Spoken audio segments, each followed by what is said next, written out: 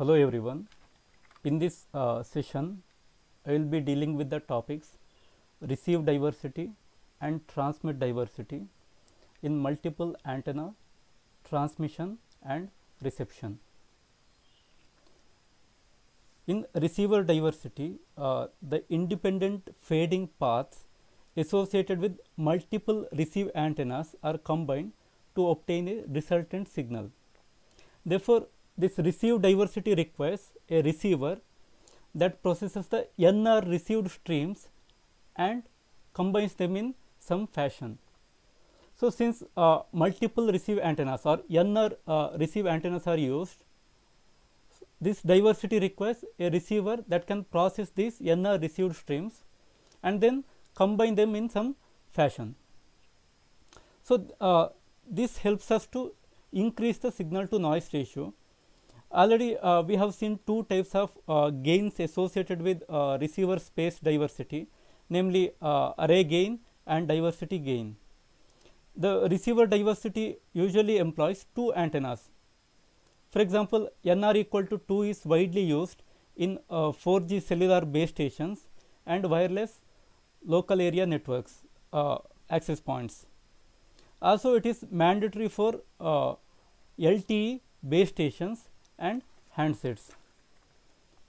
This uh, receiver uh, diversity it is effective in both flat fading and uh, frequency selective fading channels, but let us focus our uh, discussion on the flat fading condition where the received signal uh, by each of the antennas is uncorrelated and has the same average power.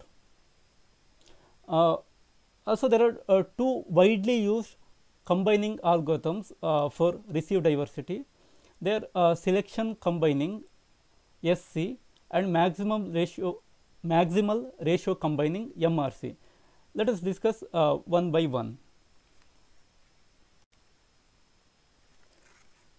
In selection uh, uh, combining, it simply estimates the instantaneous strengths of each of the NR streams and selects the highest one.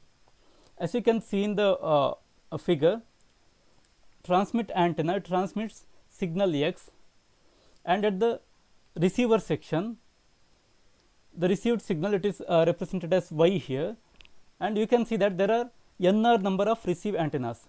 This H1, H2 and HNR are channel gain factors and here only one branch with highest signal to noise ratio is selected and then it is uh, given to the receiver section.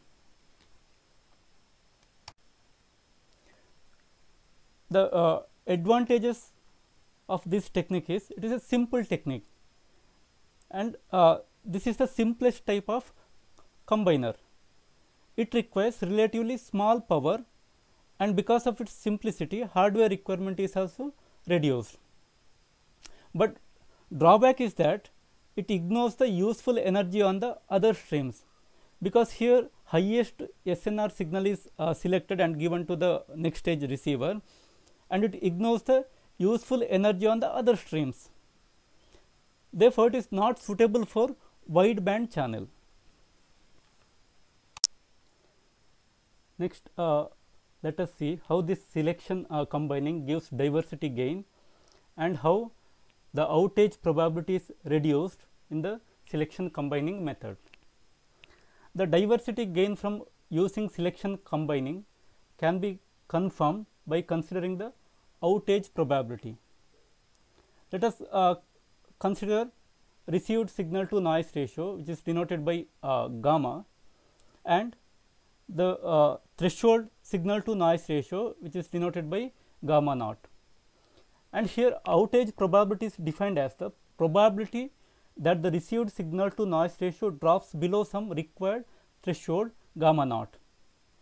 So, in terms of equation we can represent it as outage probability P out equal to probability of received SNR gamma less than threshold uh, SNR gamma naught. So, probability of gamma less than gamma naught which is equal to small p.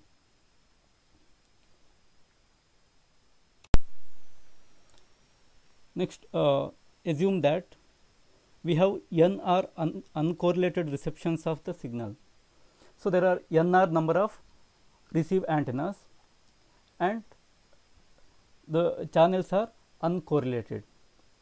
Therefore, outage probability P out can be written as the product of outage probability of each channel. So, this P out it refers to the outage probability in selection combining. So, this is equal to probability of gamma 1 less than gamma naught that means the received SNR in the first antenna it is less than the threshold value into probability of gamma 2 less than gamma naught. So, received SNR in the second antenna less than the threshold value so on probability of gamma m less than gamma naught. So, uh, here consider m equal to nr that means nr receive antennas. So, in that case we can write outage probability p out equal to p to the power nr. Next consider a Rayleigh fading channel. For a Rayleigh fading channel uh, we can write probability p equal to 1 minus e to the power minus gamma naught divided by gamma bar and this is the uh, standard equation which uh, uh, we have to remember and this gamma bar is the average received signal to noise ratio. Therefore, uh, we can substitute this p equal to 1 minus e to the power minus gamma naught divided by gamma bar in the previous outage probability equation and we can write the outage probability in selection combining as 1 minus exponential minus gamma naught divided by uh, gamma bar whole power n r.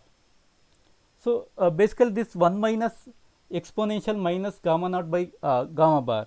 This is a fractional value that lies between 0 to 1. Therefore, selection combining decreases the outage probability. Next, uh, consider the average received signal to noise ratio for NR branch selection combining in case of Rayleigh fading channel. So, here the equation is given by gamma SC equal to gamma bar summation i equal to 1 to nr 1 by i. So, this gamma s equal to gamma bar into 1 plus 1 by 2 plus 1 by 3 plus so on up to 1 by nr. So, from this equation uh, uh, we can say that each added uncorrelated antenna increases the average signal to noise ratio. For example, consider only one receive antennas that is nr equal to 1 in this case, gamma SC equal to gamma bar that means selection combining average SNR equal to SNR of the individual branch. Next, NR equal to 2. Now, gamma SC equal to gamma bar into 1 plus 1 by 2. So, it is increased to 1.5 times gamma bar. Next, NR equal to 3. So, gamma SC equal to gamma bar into 1 plus 1 by 2 plus 1 by 3. So, now it is increased to 1.83 gamma bar. Thus, uh, each added uncorrelated antenna it increases the average SNR. Therefore, increasing the number of diversity branches from 1 to 2 it gives increase in SNR. Also from 2 to 3 it also gives increase in SNR, but the average SNR gain it increases non-linearly because increasing the number of diversity branches from 3 to 4 will give much less gain than going from 1 to 2 or from 2 to 3. Therefore, increase in SNR not linear with NR actually it is non-linear. Next uh, let us see what is the effect of selection combining and uh, receive diversity on the average bit error rate probability. For this, uh, let us consider a plot. So, here plots of bit error rate probability with different amounts of selection diversity is given and coherent binary phase shift keying modulation is considered for this example.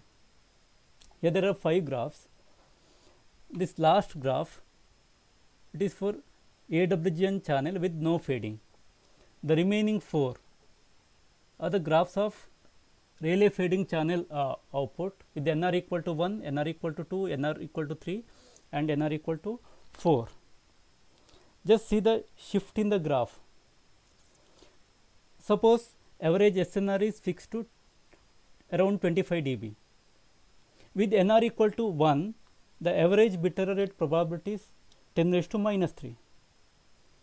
With NR equal to 2, now it is reduced to 10 raised to minus 6 and with NR equal to 3, it is reduced to approximately around 10 raised to minus 8. So, when antenna number is increased from 1 to 2, reduction in average uh, bit rate probability is 10 raised to minus 3. Then by adding one more extra antenna, we will get only 10 raised to minus 2 improvement. So, we can conclude that we will get substantial improvement in performance from the first few antennas, but after that the performance improvement with increasing NR or increasing number of antennas it diminishes. Next, uh, let us discuss the maximal ratio combining. So, this MRC or maximal ratio combining it combines the information from all the received branches in order to maximize the SNR. So, as you can see in the figure the transmitted signal X is received using NR number of antennas. Here H1, H2 up to HNR are the channel gain parameters and Q1, Q2 up to QNR these are the weights assigned to each branches. So, in this method each branch is assigned with a weight and output is a weighted sum of all branches. So, these weights are complex factors this q1 q2 up to qnr in general it is represented as qi and qi equal to magnitude of qi into exponential j phi i where phi i is the phase of the combining coefficient and magnitude of qi is a magnitude of the combining coefficient. Okay, uh, fine. Uh, next, let us write equation for combined output signal y of t. So, uh, from the previous figure, we can write output y of t equal to weighted sum of the input. So, input is common, it is x of t, which is a transmitted signal. Therefore, we can uh, write output as x of t into summation i equal to 1 to n r q i into h i that is uh, product of the complex weighting uh, factor of each branch and channel response of each branch. So, next substitute for q i and h i. So, q i is basically equal to magnitude of q i into exponential j phi i and h i equal to magnitude of h i into exponential j theta i. So, when these two are multiplied, we will get the result as y of t equal to x of t into summation i equal to 1 to n r magnitude q i magnitude h i into exponential. So, product of two exponential term it can be written as exponential j into phi i plus theta i. So, this is the final equation for combined output signal. Next, let the phase of the combining coefficient phi i equal to theta i for all the branches. Then the signal to noise ratio of y of t can be written as gamma MRC equal to E x that means transmitted signal energy into summation i equal to 1 to n r magnitude of q i into magnitude of h i square divided by sigma square summation i equal to 1 to n r magnitude of q i square. So, uh, we have discussed uh, equation for the received uh, signal SNR in array gain uh, topic. There we have considered the received SNR of individual branch gamma i as E x magnitude of h square divided by sigma square. But since signals received from each branch are combined here we need to consider summation i equal to 1 to n r.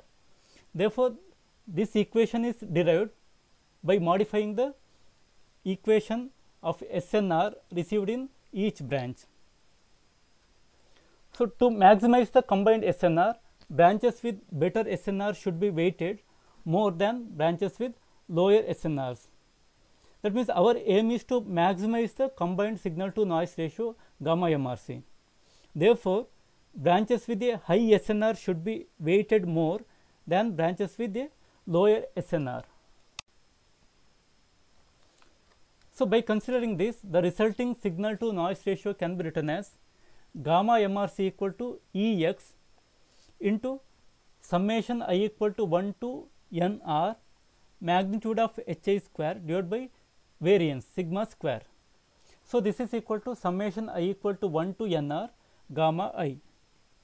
Thus, the total signal to noise ratio is achieved by simply adding of the branch SNRs when the appropriate weighting coefficients are used.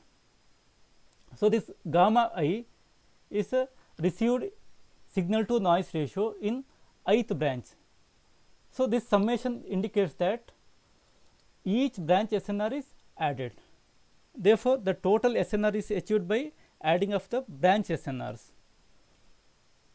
So, the SNR of the combiner is the sum of the SNRs, SNRs of each branch. Next, let us see what is the effect of maximal ratio combining on average bit error rate probability. So, for this uh, let us consider plots of the bit error rate probability of uh, maximal ratio combining. So, here again 5 graphs are given. This last graph it is for uh, AWGN channel with no fading. The remaining 4 are for Rayleigh fading channel with nr equal to 1, nr equal to 2, nr equal to 3 and nr equal to 4. So, as you can see here as the number of receive antennas is increased bit error rate probability decreases. Also this maximal ratio combining it achieves a better signal to noise ratio compared to selection combining. Because in selection combining only best SNR uh, signal is uh, selected and the remaining signals are discarded. Whereas here all the signals are combined. Therefore, there is a array gain.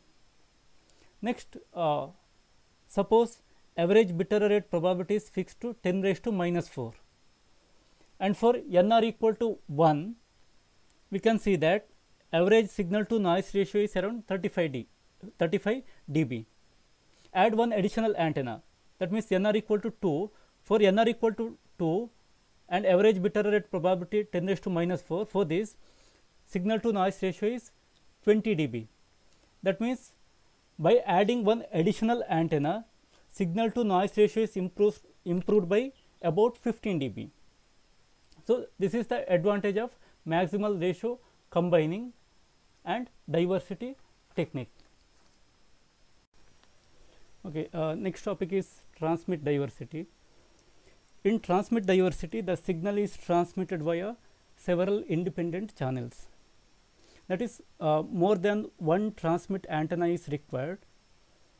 And in cellular communication, this is useful in downlink, that means from base station to the mobile station, because the base station can accommodate more antennas than the mobile station.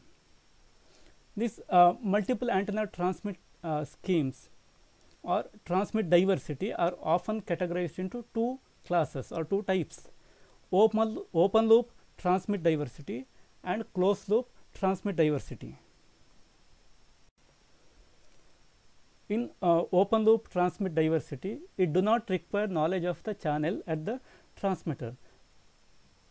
That is, uh, channel state information is not required at the transmitter.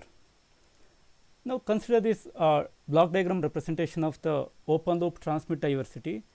As you can see here, there is no uh, feedback. We have transmitter and receiver section H1, H2 up to HNT are the channel uh, response or channel gain parameter for different independent channels. And here we can consider this as a MISO technique that means multiple input single output technique. In general we represent uh, the complex channel gain parameter as Hi where i equal to 1 to T. Following are the open loop transmit diversity approaches which will be uh, discussed under, under this uh, topic. 2 cross 1 space frequency block coding or SFBC uh, technique. Then 2 cross 2 SFBC technique. That means 2 transmit antenna and 2 receive antenna technique. Then 4 cross 2 SFBC and 4 cross 2 in long term evolution or uh, in our 4G system. First let us consider 2 cross 1 space frequency block coding or SFBC technique. Most popular open loop transmit diversity scheme is space time block coding or STBC. Space time block coding is a technique used in wireless communications to transmit multiple copies of a data stream across a number of antennas. This is also called Alamuti technique. In this, a particular code known to the receiver is applied at the transmitter section. Mathematically, there is no difference between space frequency block codes and the more common space time block codes. In long term evolution or 4G system, space block uh, sorry uh, space frequency block code is used. This is preferred because delay is less and also they are less likely to suffer from channel variations. Next let us consider uh, simplest SFBC uh, technique where uh, we need to consider two transmit antennas and a single receive antennas. So, here the uh, transmitter uses two antennas to send two symbols S1 and S2. As you can uh, see in the uh, table, there are two antennas antenna 1 2, subcarrier F1 F2 and here antenna 1 sends signal S1 in F1 subcarrier and minus S2 complex conjugate in F2 subcarrier. Similarly, antenna 2 sends signal S2 in F1 subcarrier and complex conjugate of S1 in F2 subcarrier.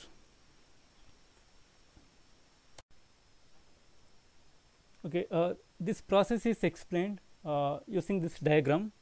As you can see here, S1 and S2 are the symbols to be transmitted and this Alamouti transmitter uh, it converts these two symbols into uh, uh, coded symbol form minus S2 complex conjugate S1 S1 complex conjugate and S2 and then it is transmitted using two antennas on two subcarriers F1 and F2 and at the receiver section only one antenna is used.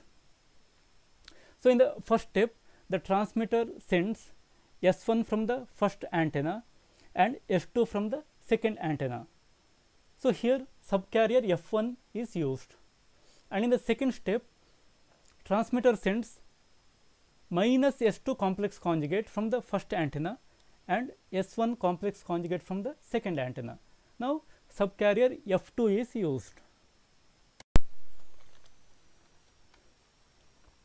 As we can uh, see in the previous uh, figure, symbol S1 is transmitted from antenna 1 and its conjugate is transmitted from antenna 2. That means, there is a space diversity because both the antennas are used to transmit S1. Similarly, symbol S2 it is transmitted using both the antennas. So, space diversity is used. Then S1 is transmitted from antenna 1 on frequency F1 and S1 complex conjugate is transmitted from antenna 2 on frequency F2. Therefore, there is a frequency diversity. Similarly, S2 is transmitted on frequency F1 and frequency F2. So, since space diversity and frequency diversity both are used, this is called space frequency block coding. In STBC or space time block coding same coded signal is transmitted during different intervals, but on same frequency. Now, let us consider a flat fading channel. H1 of F1 is a complex channel gain from transmit antenna 1 to the receive antenna. Similarly, H1 of F2 is the complex channel gain from transmit antenna 1 to the receive antenna. Assume that the channel is constant over the two adjacent subcarriers. Therefore, we can write H1 of F1 equal to H1 of F2 equal to H1. Similarly, H2 of F2 is the complex channel gain channel gain from transmit antenna 2 to the receive antenna and H2 of F1 is the complex channel gain from transmit antenna 1 to the receive antenna. Again we can uh, write it as H2 of F1 equal to H2 of F2 equal to H2.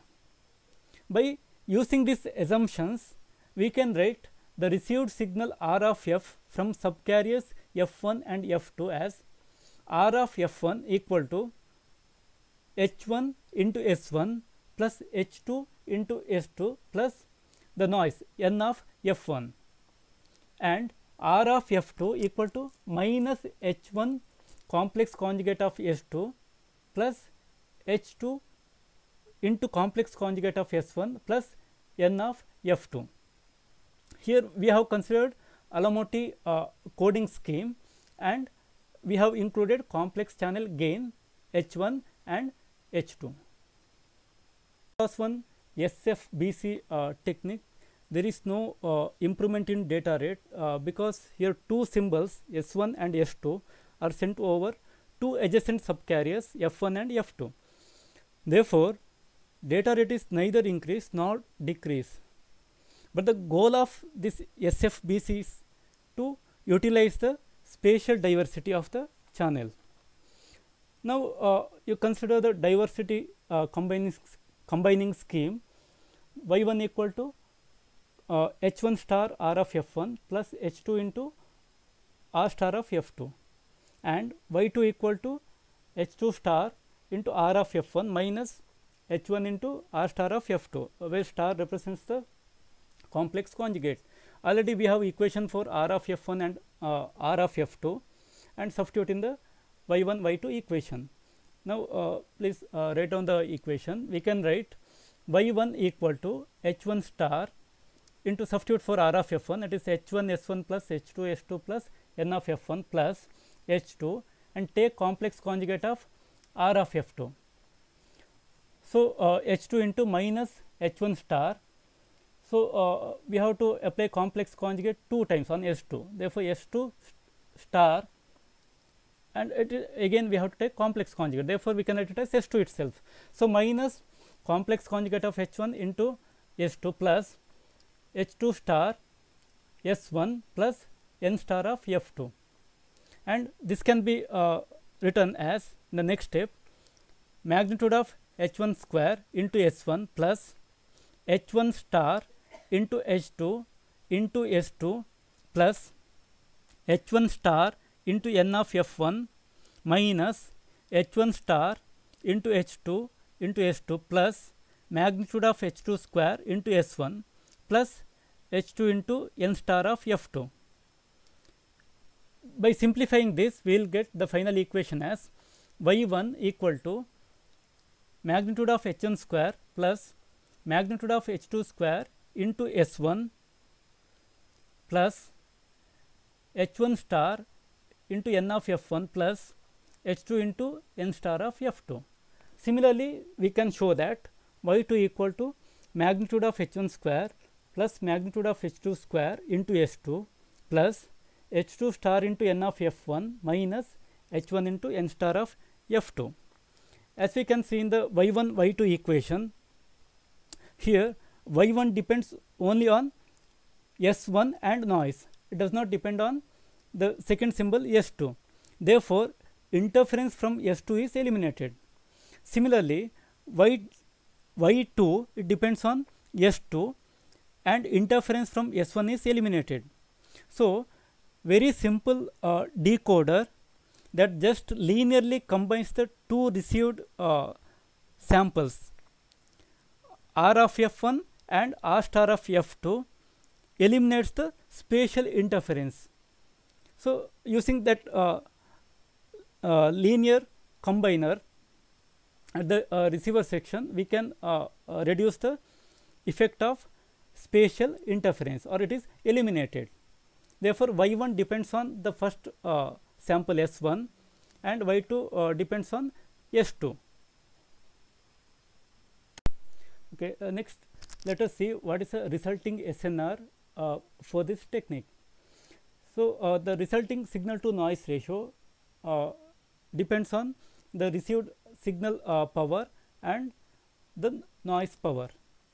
And here the signal power is magnitude of h 1 square plus h 2 square whole square into energy of the individual symbol. But very important point is in SFBC each signal or symbol is transmitted two times.